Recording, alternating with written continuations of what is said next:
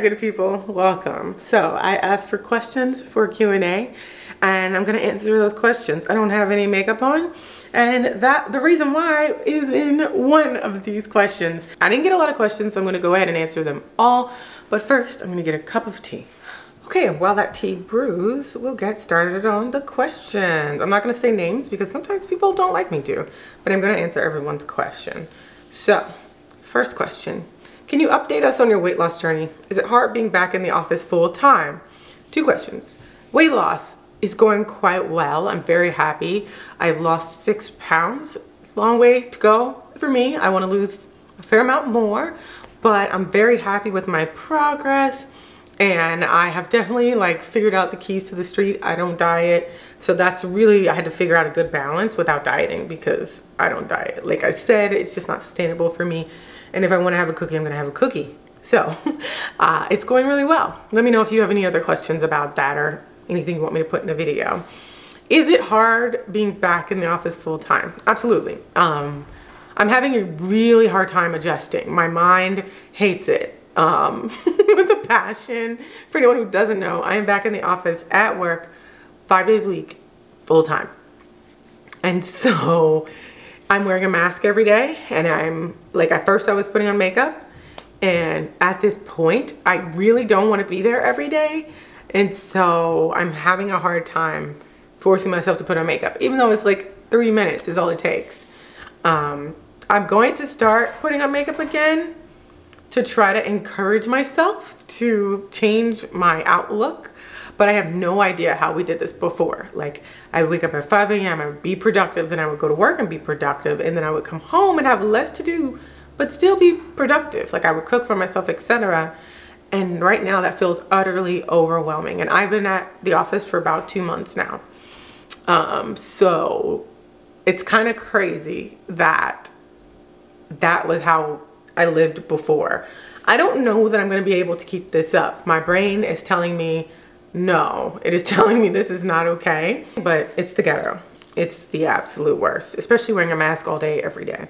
What have been the top three benefits of a music education and performance career? Top three lessons. And when did you realize performing wasn't what you wanted to do with the rest of your life?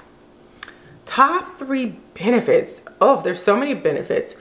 I number one that's useful in my current job is that I'm I am comfortable speaking in a large room of people. I'm comfortable speaking to strangers. And though it, it's not my ideal situation, right? Like I'm an introvert, it doesn't bring me a level of anxiety that I noticed that people who haven't performed or haven't studied music um, have any kind of like art form, who haven't studied that. They don't have that ability because it hasn't been practiced, right? Um, I know people who get like immense levels of anxiety even with the team they work with, right? And if because of music study, you're working with a team all the time, so presenting to my team, like having a voice doesn't bother me.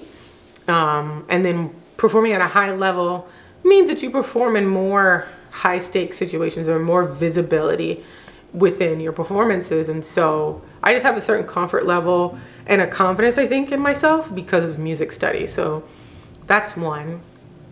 Two is definitely the self discipline and the self reliance you learn from um, being in ensembles and performing.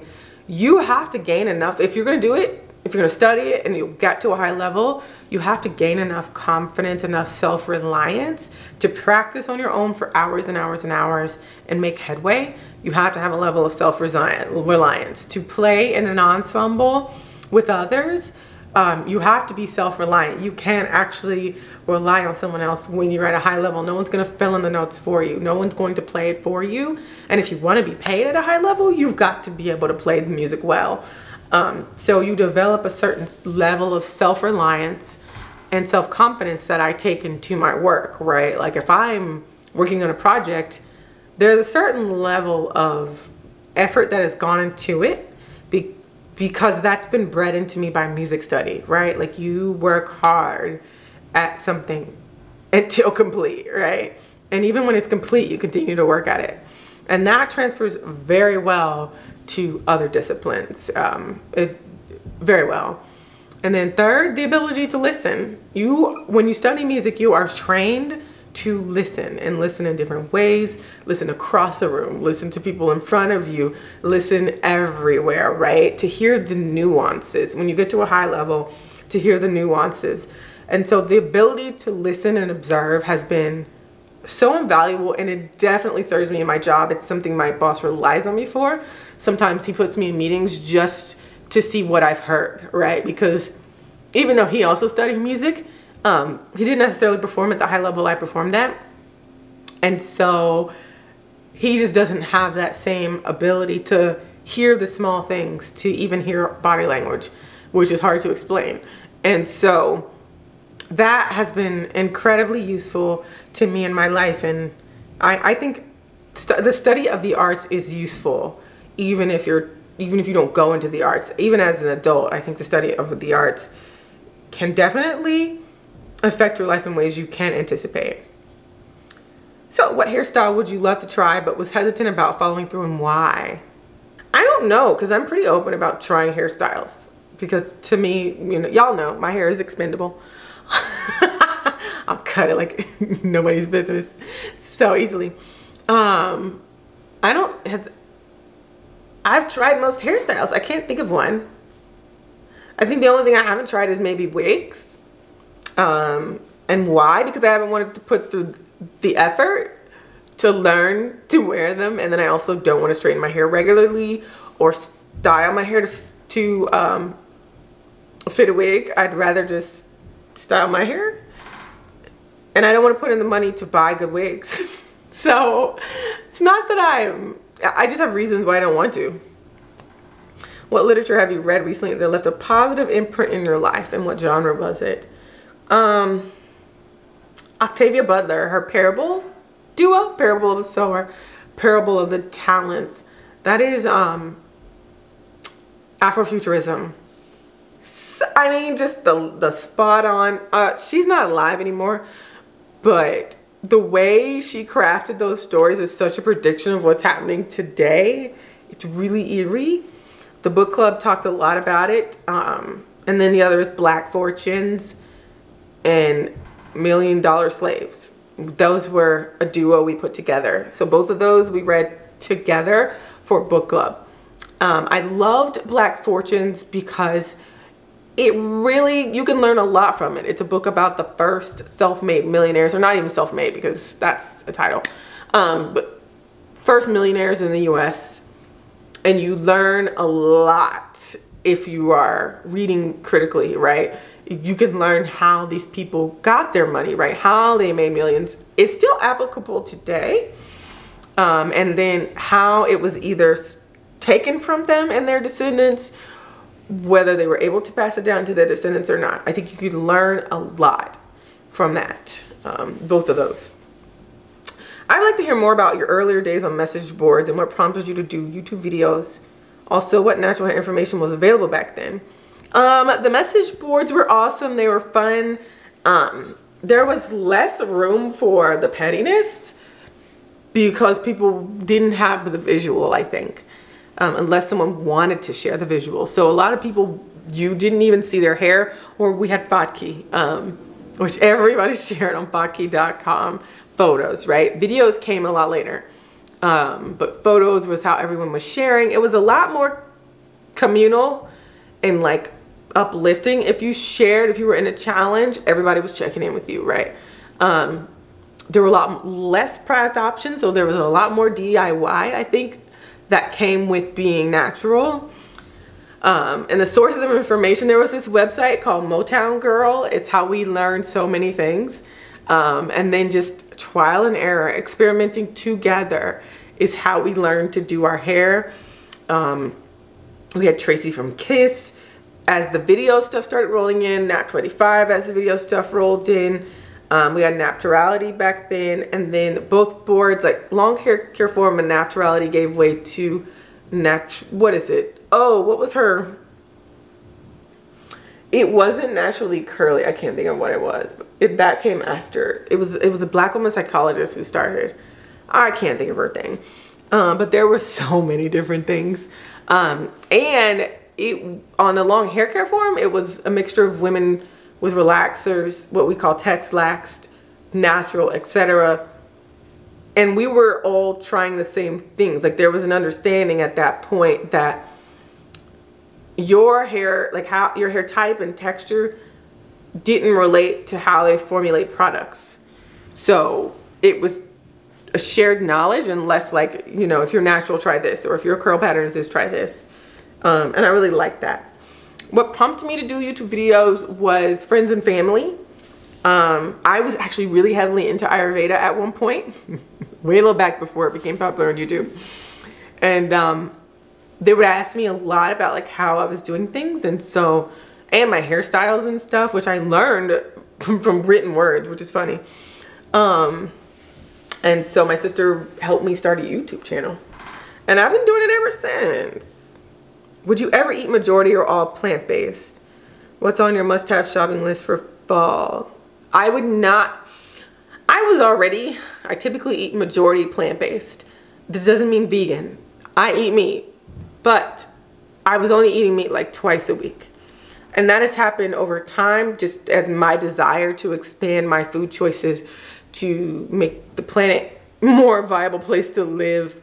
I was cutting, slowly cutting down my meat consumption to twice a week.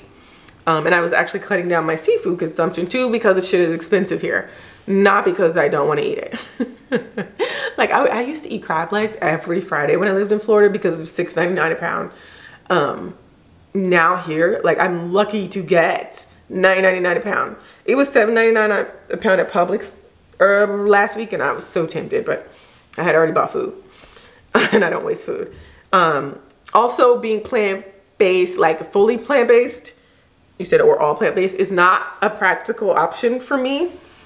Um, because I do have anemia, I need to not restrict myself.